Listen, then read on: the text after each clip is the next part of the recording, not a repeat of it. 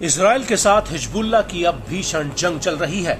एक तरफ़ जहाँ पर वो इजरायली फौज को लेबनान के भीतर घुसने से रोक रहा है, वहीं दूसरी तरफ़ वो लगातार इसराइल के भीतर भी हमले कर रहा है। हिजबुल्ला ने अभी तक इसराइल के कई सैनिकों और हथियारों को ठिकाने लगा दिया है।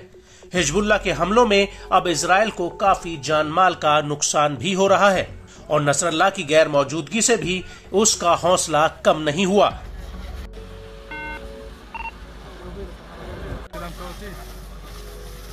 और अब इसी कड़ी में हिजबुल्ला ने आईडीएफ को एक बहुत बड़ा झटका दिया है। दरअसल, हिजबुल्ला का कहना है कि उसने इसराइल के दो हरमीज 450 ड्रोन और आईडीएफ के चार वाहनों को एक बार में ही निपटा दिया। हिजबुल्ला के मुताबिक 15-16 अक्टूबर 2024 की आधी रात को करीब बारह बजकर तीस मिनट पर उसने इसराइल के दो हरमीज 450 ड्रोन्स को मार गिराया। ये दोनों ही ड्रोन लेबनान के शहरों और गाँवों की जासूसी कर रहे थे।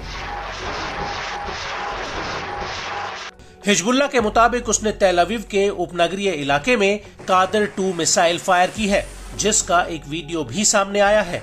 वीडियो में साफ़ दिख रहा है कि कैसे हिजबुल्ला पहले तो तेल अवीव में अपने टारगेट्स को चिन्हित करता है और उसके बाद हरियाली के बीच एक बहुत बड़ी मिसाइल को लॉन्चर से फायर कर दिया जाता है। और हिजबुल्ला का एक दूसरा लड़ाका इस मिसाइल की लैपटॉप से मॉनिटरिंग करता है। और जैसे ही ये मिसाइल तेल अविव में घुसती है, वैसे ही वहाँ हवाई हमलों के सायरन बजने लगते हैं, जिसके डर से कई लोग सड़क किनारे ही बैठ जाते हैं।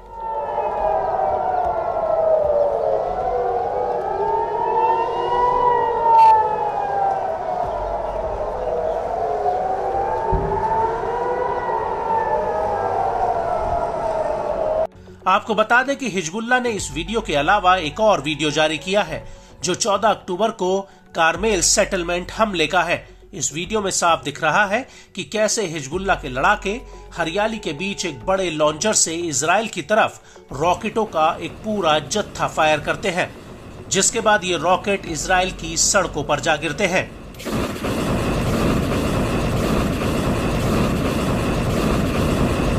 इस सब के बीच हिजबुल्ला के लड़ाकों ने अल बगदादी साइट पर आईडीएफ के जवानों पर रॉकेटों का एक पूरा जत्था फायर किया। हिजबुल्ला का ये भी दावा है कि उसने तड़के करीब एक बजे अलमर्ज साइट पर भी जब इजरायली सैनिक इकट्ठा हो रहे थे, तब उनके ऊपर कई राउंड रॉकेट बरसाए। और इस हमले के बाद अल सिद्दाना और बिरकतल नकार में हिजबुल्ला ने आईडीएफ पर ताबड़तोड़ हमले किए हैं।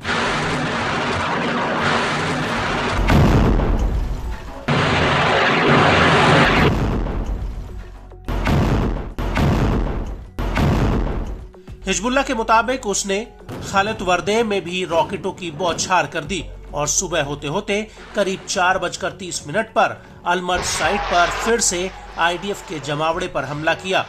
हिजबुल्ला का यह भी दावा है कि उसने खलत अल फरशाद साइट पर भी इजरायली सैनिकों के जमावड़े पर जमकर रॉकेट और गोला बारूद बरसाया है और इसके बाद किरेत शमोना सेटलमेंट पर रॉकेट हमलों की झड़ी लगा दी।